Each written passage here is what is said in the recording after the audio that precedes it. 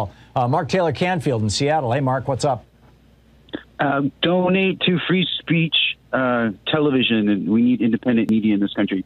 I have a situation here in Seattle, uh, Thom, where it looks like a law and order style Republican may become our new city attorney, replacing the current city attorney Pete Holmes, who was a reform-minded guy who was very proud of the pot that he bought at Seattle's first legal pot shop, and I've always kept his business card in my wallet in case I got arrested as a journalist while covering the protests. But Pete lost his seat in the three-way race during the primary, and now Ann Davison who switched from the Democratic Party to the Republicans last year, is now ahead in the polls, largely due to a big smear campaign sponsored by conservative business interests, including Vulcan, the real estate and construction empire built by Microsoft co founder Paul Allen. And they're casting the public defender running against Davison, and her name is Nicole Thomas Kennedy.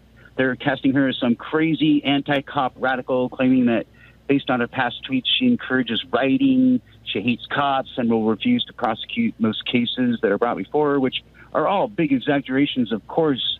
And um, she, Nicole Thomas Kennedy, is certainly no radical anarchist, but she was outraged by police brutality perpetrated against the Black Lives Matter protesters last year and spoke so out. So, is your election there in Seattle next Tuesday? Yes, it's coming up on Tuesday, and unfortunately, Davison, the Republican, is ahead in the polls. Now, luckily, there are a lot of undecideds in these recent polls, so it could switch at the last moment. But it's not looking good right now for police reform in Seattle, considering uh, Davison's attitude about the police department and why are Seattle and Portland always used as scapegoats for everything that the right wing thinks is wrong with liberal politics. Thom, I'm really getting tired of it. Yeah. The smear campaign is just propaganda. Well, I can't speak for Seattle, Mark, but I can tell you that in Portland, uh, in my opinion, uh, my respectful opinion, uh, this city has not been well run.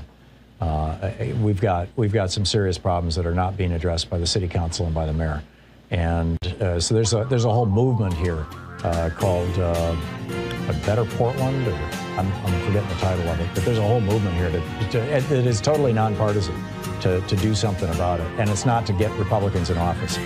But Mark, good luck there. I wish you the very best, and and uh, and Seattle as well. And my apologies to everybody else. Give us a shot next week, and we'll continue the conversation. Special thanks to Louise Hartmann, Sean Taylor, Nate Atwell, Jamie Holly, Joyce the Hammer. Uh, we should call her Joyce the Zombie Nance, um, or Vance, excuse me. Nigel Peacock, Sue Nethercutt, Patrick White, Geraldine Halbert, Ron Hartenbaum, Chase Spross, Nicholas Miller, Pat Sweeney, Jabbermocky, Jay LeBlanc, Connor Arroyo, and Carna Verde. Have a great weekend. Get active. There's an election coming up. Make sure everybody you know is ready to go. Tag you're it. We'll see you, see you on You've Monday. been listening to Thom Hartmann. For audio and video archives, visit thomhartmann.com.